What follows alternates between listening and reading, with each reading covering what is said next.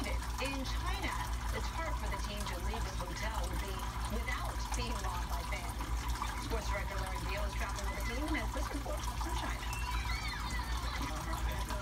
People walk by and they look at it and say, wow, that's kind of cute. That's kind of cute what it says, you know, Chinese, you know, it says spice curry. You know, that's written in Chinese.